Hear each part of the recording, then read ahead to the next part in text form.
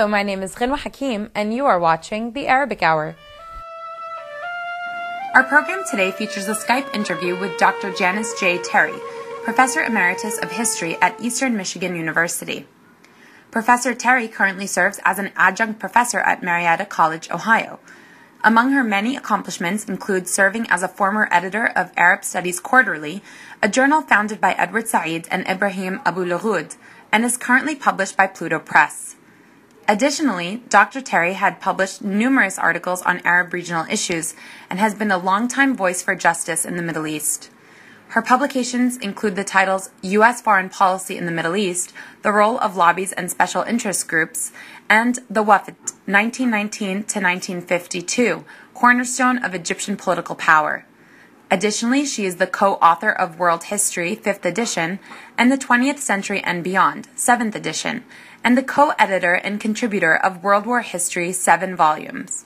Today, Professor Terry will discuss her most recent book, William Yale, Witness to Partition in the Middle East, World War I to World War II, via Skype with Arabic Hour's Elaine Hagopian. Uh, thank you, Ghinwa, and we are happy today to, to have the author of this new book on William Yale with us today to talk a little bit about uh, the history of Palestine, which we don't do very often these days. And we're going to do it through the life of William Yale. Uh, Janice Terry has uh, looked at some of his uh, own papers, and, and uh, the book is drawn primarily from those papers, but also from the papers and documents in other libraries um, by other people who served uh, during that period, especially on the King Crane Commission. Um, we're going to uh, really focus a lot on the King Crane Commission, which was in 1919. It was a commission that Wilson uh, sent abroad, and we'll talk a little bit about that later. But first, Janice, welcome to the program, and tell us who was William Yale, and why should we be interested in learning about his life? Well, it's a pleasure to be here, Elaine. Always good to talk with you.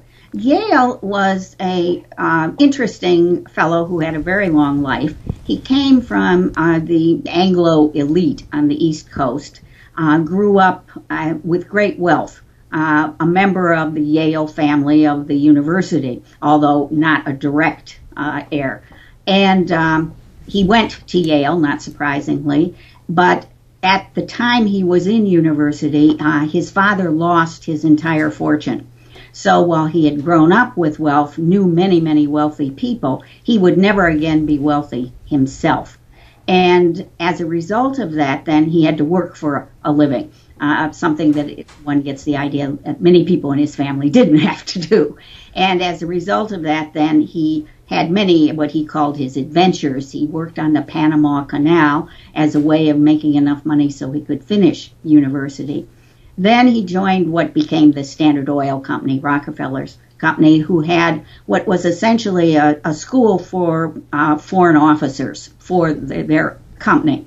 So in many ways, the, the Standard Oil Company, even today, uh, has, if you will, uh, people on the ground that uh, in many cases are better informed than uh, people in Washington. Was uh, he was Yale trained in oil exploration, or was he just thought that he could do the job? The course that was part of the course that uh, he learned about oil exploration, drilling, um, and in fact went out to the fields of Oklahoma uh, saying that in fact you could uh, study in school, but he always liked to be in the action. And so uh, they sent him out for about a year uh, to the fields of Oklahoma, but he also visited oil fields that were active and are coming online again in Pennsylvania and Ohio. And then they called him back um, and sent him out uh, to what was then the Ottoman Empire uh, because they were drilling in or, or hoping to find oil uh, to drill in what's today Turkey and the what year, what year was he sent to that area? Well, this was before uh, the war actually began. You're talking about 1914, but then he was in the Middle East when the war actually broke out. He was actually in Palestine at the time that the war actually broke out And the book starts with him telling about uh, uh, the difficulties that, in fact, they had some uh, British people that were a part of the team that was sent out by Standard Oil, and then getting them out once the, the British came into the war against uh, the Ottoman or the Ottoman Empire came into the war against the British, more uh, precisely. Uh, there was, uh, of course, they had to get these people out of Palestine. And then ultimately, Yale and the rest of the team left Palestine as well as the war got closer and closer to them. And it, yeah, go ahead, please. It became clear to Standard Oil that you know they weren't going to be able to do any explorations or anything while the war raged. And they had already set up. It's very interesting. They had already made contracts um, in the case of Palestine with several Palestinians um, and had concessions uh, legally drawn up that once the war was over, they anticipated going back to Palestine, and of course, they wanted to go elsewhere in the Middle East uh, to start drilling for what they hoped would be, you know, big finds. Well, obviously, there was competition between all the big powers, not only for oil, but in that area, and uh, Yale was interested in American uh, interests. But uh, let's let's jump ahead to the uh, war and talk a little bit about the context in which Yale finally begins to be a part of some of the uh, so-called diplomacy or commissions, fact-finding commissions related to Palestine. Uh, so let's talk a little bit about the three three uh, um, agreements that were made and remind our audience about them. One was the 1915 Hussein McMahon uh, agreement, uh, letters actually. Uh, in 1916, you have the Sykes-Picot agreement, and uh, in 1917, you have the Balfour Declaration. These three documents all contradicted each other, but committed uh, Great Britain and, and the powers um, to certain uh, to certain activities. So if you could just briefly, because we don't want to dwell on them too long, summarize what each one was and why they were uh, contradictory and why they caused problems. Well, uh, it, it's the crux of the problem, really. The first deal, the, the Sykes-Picot, was a secret. Uh, or excuse me, the first deal was a series, as you point out, of letters with uh, Sharif Hussein was uh, a leading Arab figure. Um, and essentially, what it said was that the Arabs would rise up and fight against uh, the Ottoman Empire, against the Central Powers. They'd fight on the side of the British and the French uh, in exchange for an independent state when the war was over. And note that they weren't talking about half a dozen independent states, they were talking about one independent state. Uh, and a kind of Arabian state of which yes. Palestine would be a part. Absolutely. The only parts that weren't um, definitely included were um, what would be essentially Iraq today. The British already knew there was oil in Iraq and they intended to have it for themselves when the war was over. Uh, the French wanted Lebanon and uh, Sharif Hussein said, well, you know, we'll leave Lebanon uh, essentially on hold until after the war. Um, Sharif Hussein figured that uh, two things. One, that the British were acting in good faith, which turned out not to be uh, the case. And that two, the, the overwhelming majority of the people in all of the area that he talked about were Arabs. And so, uh, on the basis of what became you know, known by the United States as self determination, he assumed that these territories would become part of the Arab state. And the result was that, uh, per the agreement, the Arabs did rise up and fight uh, with the British, uh, the Lawrence of Arabia story. And I would like to make a point here before you talk about Sykes-Picot, um, and that is that for the Arabs to agree to this, uh, to fight against other Muslims, the Ottoman uh, Empire, uh, was a huge decision because it went towards ethnic nationalism as opposed towards the, um, the larger Muslim uh, society. So this was a very important step for the Arabs, and but they felt that they were going to get their own state, including Palestine. So yes, that's talk, a great point. Let's talk a little bit about what Sykes-Picot uh, said and then what the Balfour Declaration, which most people know. So let's do that briefly. Well, the Sykes-Picot was essentially another secret deal, this time between the British and the French, um, although the Russians were tangentially involved because the Russians at that point were part of the Allied before the uh, Russian Revolution. And it essentially divided the territory that the British had just promised to the Arabs. And what it essentially said was that the British were going to get control over what today is Iraq and what today is uh, Jordan, Palestine, and Israel. And the French would get control over what today is Lebanon and Syria. And so what you're doing then is not only are you not giving the Arabs an independent state, you're dividing the state and you're dividing it between two separate uh, governing powers. So that this was in fact a double deal, obviously, and it was bound to make difficulties, and indeed has up until the present day. And then it was exacerbated by the Balfour Declaration. Right, and, which, and uh, you talked about this being uh, d- dividing up, and you mentioned Israel, which at that time, of course, you meant Palestine. It was Palestine, uh, and so let's now go on to the uh, Balfour Declaration, which is yet another contradiction to the 1915 letters. Yes, it's 1917, and it's different in the first of all in the sense that it's a public statement as opposed to the two secret deals. And it essentially, it's only a paragraph long, and essentially said that the British government uh, viewed with favor the establishment of a, a Jewish homeland um, in uh, Palestine. Now, they purposely used these words that uh, can be interpreted differently uh, on purpose. Um, I've seen the various uh, legal legal uh, attempts to define it. Yes. Yes, and uh, they they went over each and every word, so there's nothing in the Balfour Declaration that's there by accident. But essentially, by promising um, in one way or another uh, P- Palestine for a Jewish state, you had now sold the same house to three different people. You'd sold it to the Arabs, the British, and the Zionists. And uh, of course, keep in mind when the British did this, they didn't control one square inch of any of this territory. So not only were they selling the house, they didn't own the house. And so it's not at all surprising that it continues uh, to be a problem until uh, the present day.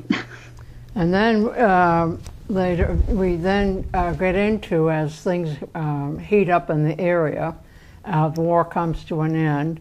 Um, the, the, they go to Paris, and really the uh, fate of Palestine was already decided by Wilson, President Wilson. Uh, and others, though he spoke about self determination uh, and so forth. And what he was pressured into doing, and the other powers didn't really join him, was to establish a commission, the King Crane Commission, to investigate what the people of the area uh, wanted uh, uh, as their solution. And uh, Yale was appointed the advisor, one of the advisors uh, to this commission. So, talk a little bit about the King Crane Commission and what it came up with and what Yale came up with in terms of his memorandum as, as an advisor. Well, the King Crane Commission, uh, all Americans uh, go out to find out what the people wanted, which was in keeping with the idea of self determination. And it, it's ironic and, and really tragic that at that point in t- history, the United States was hands down the most popular country in, on earth. And certainly in all of the Arab world, uh, the United States and Americans were looked to as the, the, the, the force that would, in fact, provide independence. And so they believed Wilson when he said self determination and thought it meant them. Well, as it turns out, it didn't uh, mean uh, them. But the King Crane Commission went out and asked the people, novel idea, what they wanted. And overwhelmingly, we're talking in the 98 percentiles, the people said they wanted independence. Um, and so the King Crane Commission did an honest job. Um, King and Crane were both very admirable uh, men. And it wrote a very long and detailed and excellent report based on facts and submitted it with um, enormous amounts of statistics of who said what when and uh, you know what areas were uh, in favor and what they wanted etc um, and they came up with the idea that they wanted independence which everyone knew and that if they couldn't have independence interestingly they would accept reluctantly a temporary mandate or control by the united states as kind of a, a, a because they trusted the United. They thought yes, the United exactly, States was, exactly. was a and neutral if they power. Have that, if they couldn't have that, they'd take the British. Under no circumstances did they want uh, the the French, and the overwhelming majority were against a, a Jewish state as well. And in fact, the only people that favored the idea of a Jewish state were the, the small number of Zionist settlers in Palestine at the time. And the King Crane Commission was very honest and interviewed them at great length as well about what they wanted. But since they were such a very small percentage of the population, on the basis of self determination, the King Crane Commission recommended independence uh, for the entire area, but especially for Palestine. So basically, they're also saying that if they couldn't be part of a greater Syria, a larger state, that they would like an independent Palestine. Yes. Uh, and in lieu of that, they would like a, a kind of mandate period under the U.S. Uh, go on and tell us what happened after that. Well, the King Crane com- comes back and writes up a, what is a very fine report. But by that time, of course, Wilson uh, was already ill. He hadn't yet had the, the uh, dreadful stroke, but uh, was not a well man. And he, in fact, wasn't even in Paris when the King Crane Commission got back. And when they submitted their report, and we know because we have the, the facts about it, that the report was in fact delivered to the White House, that uh, it was available uh, not only to the White House but to the State Department, etc. But it's not at all clear whether Wilson actually ever read the report. Uh, other people in the in the White House and the State Department clearly did read the p- report, and they frankly didn't like what the report said because it told what the people wanted, and it wasn't in fact what the political forces wanted. And so, in fact, the report uh, sunk to the bottom. Uh, and wasn't even, in fact, uh, published for uh, over a decade after it was actually uh, submitted uh, which is really one of the, the tragedies because, in fact, had the report uh, and its recommendations been followed uh, more closely, I think uh, it's certain that many of the difficulties that we see today in the region would not uh, be the case. Now, tell us about Yale's uh, memo and what Well, he what he submitted as very- as as as opposed to what the commissioners submitted. Yes. Well, he didn't actually submit it formally because he was just an advisor. So there was one report. Uh, and although some people then who liked what Yale said called it the minority report, it wasn't a minority report. It was just his idea. Uh, and at that point, he did not favor the idea of an independent Palestinian state. Uh, Which, let me just pause for a minute to say that that is something that most people don't realize because Yale had quite a reputation in his older years. Uh, and I think your book really exposes uh, this. And you didn't find this memo among his papers, did you? You found it elsewhere. Yes, uh, it's quite clear that um, as the years went by, and in fact, not very many, that Yale came to regret that he hadn't signed, well, he had signed on, but hadn't really supported the idea of the uh, King Crane recommendations for uh, an independent uh, Palestine or an independent Arab state. Um, and that while he had said that he thought that the encouragement of the Zionist enterprise uh, in his minority uh, discussion was a good thing, he came to regret that decision and saw that he had been uh, erroneous uh, in his conclusions, that um, he had somehow felt that the, the Zionist enterprise uh, was not going to create an independent state that would uh, marginalize the Palestinians. That uh, somehow, and it's a mystery to me and many others, how yes. he thought that uh, it wasn't going to marginalize the Palestinians. But um, be that as it may, uh, in 1919, that's what he uh, thought. I think that as early as the early 20s, he had already begun to reconsider that. And as, in fact, the Zionist enterprise and, and Israel itself not only marginalized the Palestinians, but in fact ousted them, um, one um, directly or indirectly, um, and uh, did not provide any kind of binational uh, enterprise. He then very much regretted that uh, he hadn't um, supported the king. Not that I think that if he had supported it, it would have made any difference in terms of what the U.S. government did. No, that's true, but it, it's just very interesting that this person uh, was always seen as a champion of Palestinian uh, self-determination, which he really wasn't. Uh, at In the beginning, time. that's absolutely yeah. true. Uh, well, in 1920, we had the San Remo um, uh, meetings, and uh, out of this, of course, grew the League, uh, League of Nations and the mandate system.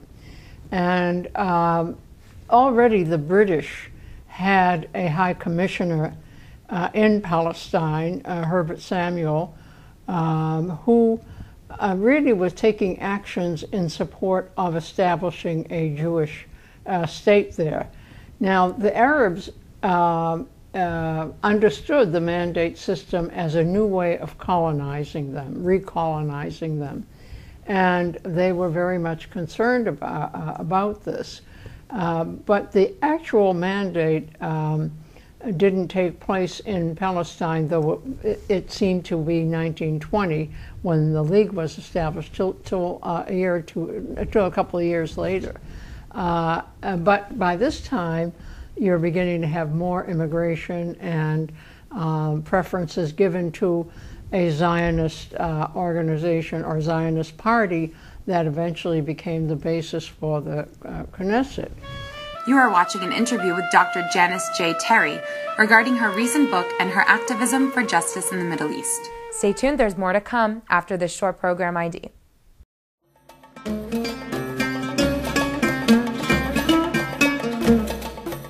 You are watching the Arabic Hour, a program of news, views, culture, cuisine, and the Arab American experience.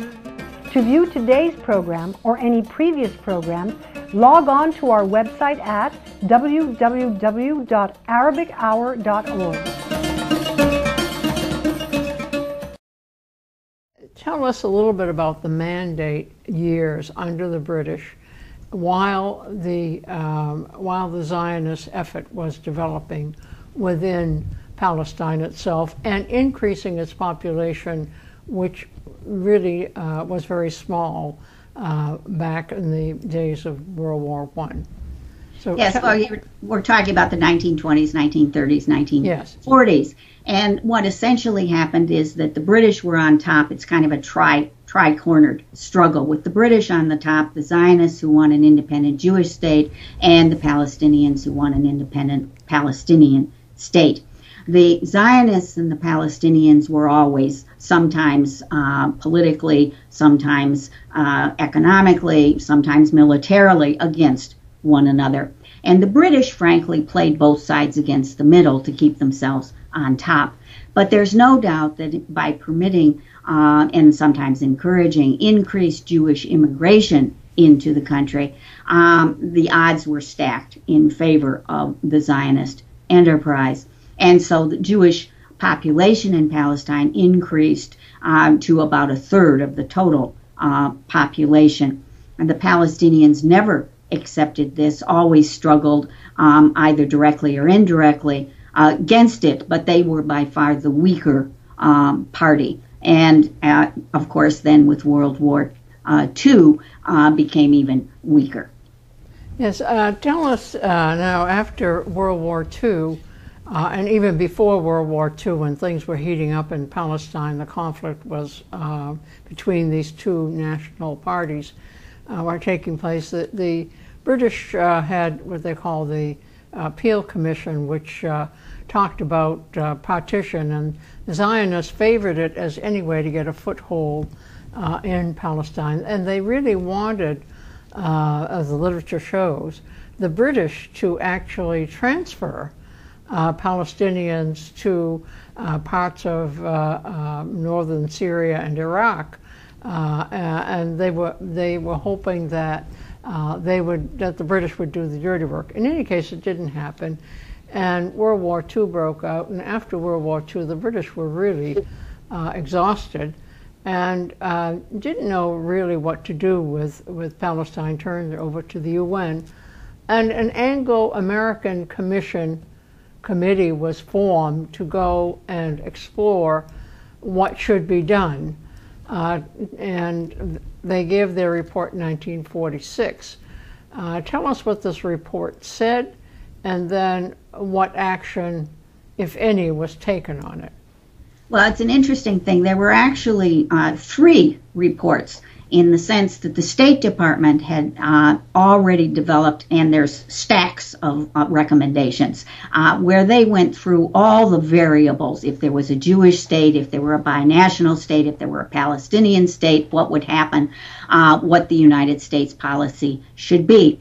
And the Anglo American Commission went out and essentially found exactly the same thing the King Crane Commission had found uh, that the people wanted an independent Arab state, and that the minority, uh, the Zionists, wanted an independent uh, Jewish state, and that it was quite clear that uh, partition uh, was going not really to be accepted by any group, although the Zionists politically very wisely said that they would accept partition. It as was a tactical point. move. Yeah. Yes, a tactical. It's a foot in the door. Better, as Ben Gurion said, a, a small state uh, to start, uh, and note it was to start, uh, rather than none. Um, the Palestinians, for obvious reasons, since they, they owned 90 some percent of the land, uh, were uh, over two thirds of the population of the country, uh, opposed uh, partition and a Jewish uh, state. That it was their state, they, they were the majority, they owned uh, the state essentially. Uh, and they said so, and everyone knew that.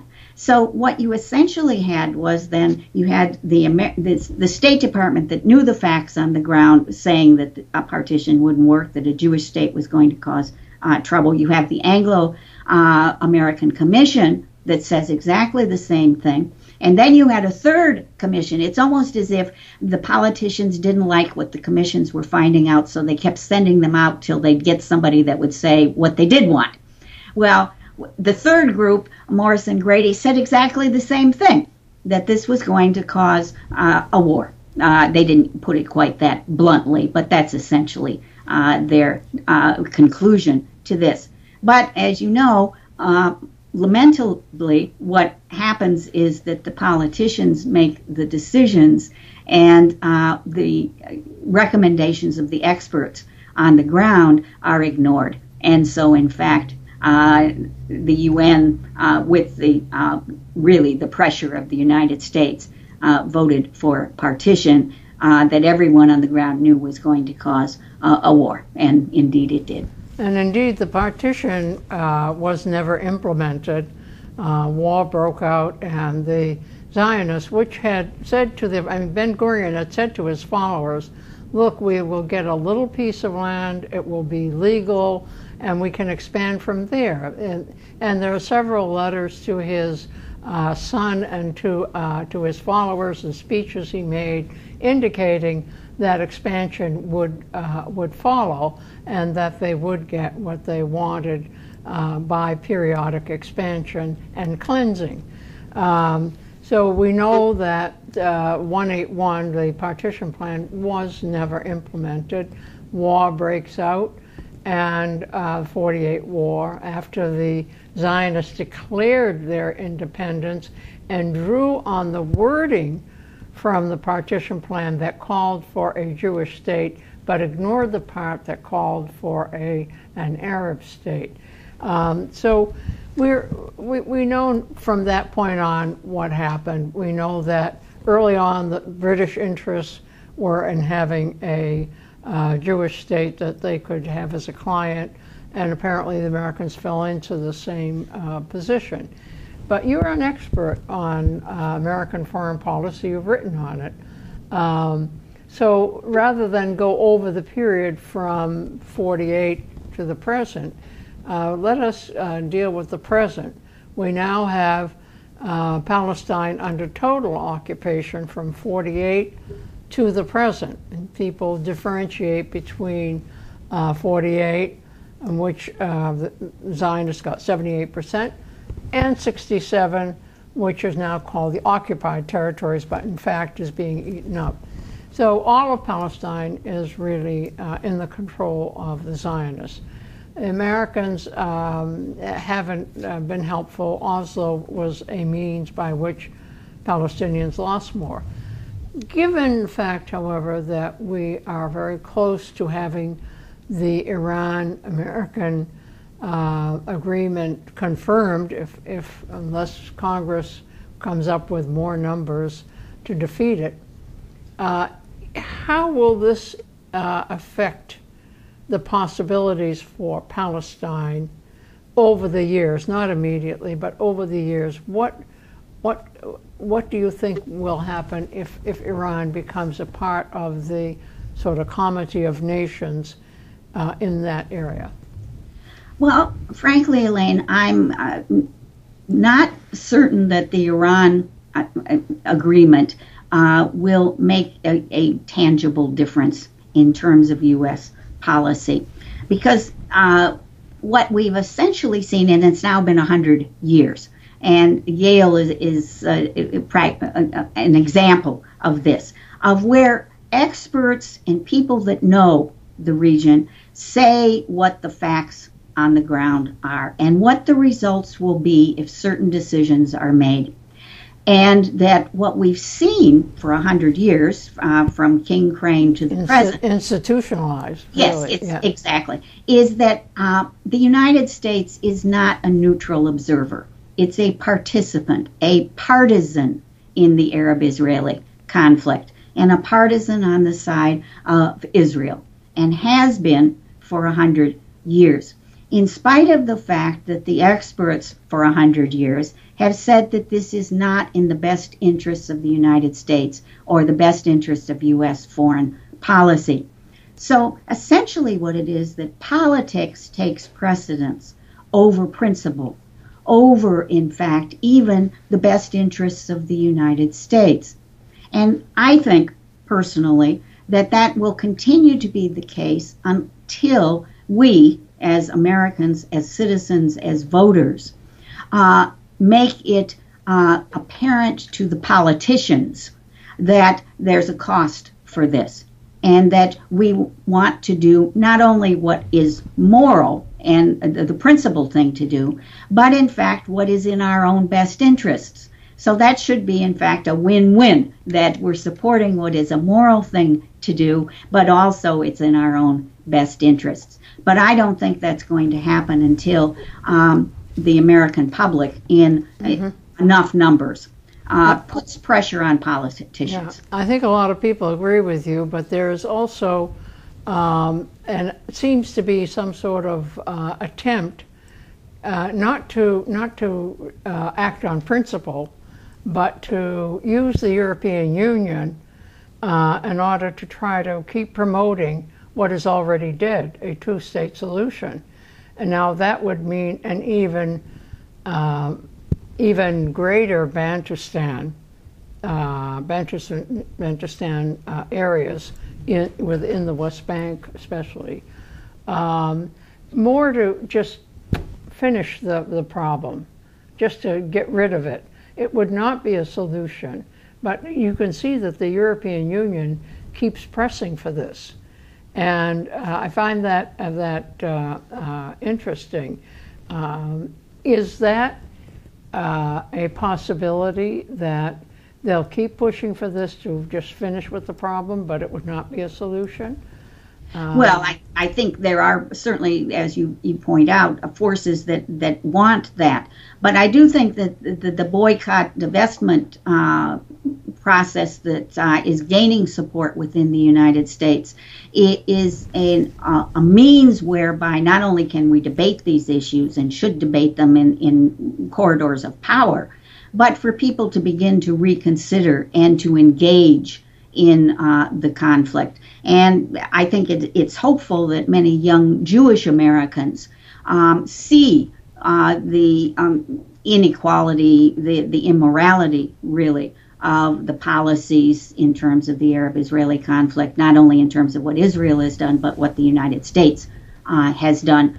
And that uh, mobilization and um, involvement um, making politicians aware that there are people, um, just as the, the, Zionist lobby has done so effectively, um, that there's costs to be had politically um, if, in fact, we don't take a more balanced um, moral approach mm-hmm. to conflict. I, I am reminded of the anti Vietnam movement, which actually took years yes. to develop. And until it actually became a mass movement which did have clout in terms of votes and in terms of political action in the United States, we had no real action on Vietnam. So uh, the, the BDS movement, while it really hasn't hurt the economy of Israel, it has really made them fearful of restricting um, movement of their academics and others uh, in the world as it becomes increasingly popular, and as the um, as the movement of uh, uh, Jewish people of principle who have become aware of what Israel is, this is a nucleus which yet has to be developed over years. But basically, uh, what I think you're saying, what I agree with, is this action is not going to come simply because there's um, there's an agreement. I think that the uh, Iran thing will attempt to stabilize the area more, but it may be uh, a kind of stabilization that is not necessarily in the interest of Palestinians or of the Arabs for that matter. Um, tell me, before we close, um, is there something you would like to tell our audience or talk about? Um, and um, say about your book? Well, I think that the Yale book is a way to for us as uh, Americans to engage in the debate uh, regarding the Arab-Israeli conflict and uh, the errors that we as a, a country, as, as, a polity, have made regarding the Arab-Israeli conflict and the, the Arab world in general. And that I hope then it, it is it means whereby more of us uh, perhaps people that are sympathetic but have been on the fence or uh, choose not to speak out will become more actively involved. One of the big problems in the United States is that most Americans are not involved with uh, foreign policy and do mm-hmm. not, in fact, uh, uh, they don't know anything about it. Yes. And so this is a huge problem, unless, of course, Americans are being killed uh, in, on the field uh, then uh, uh, Americans become involved in, in, issues involving foreign policy. But this is, in fact, a, a very uh, counterproductive thing because it, it, what it has done, especially in the Arab Israeli conflict, it's left a very small minority of um, active and committed people, Zionists, uh, to carry the day. Um, for now a hundred years,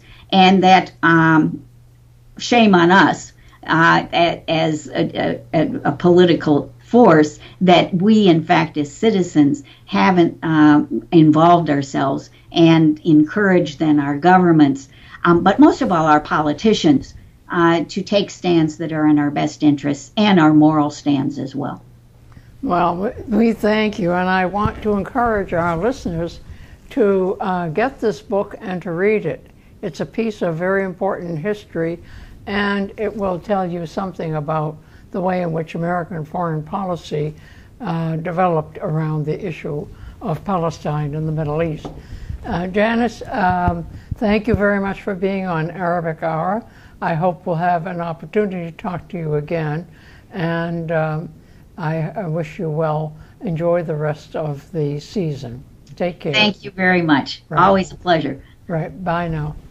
That was an interview with Dr. Janice J. Terry via Skype regarding her most recent book, William Yale Witness to Partition in the Middle East, World War I to World War II.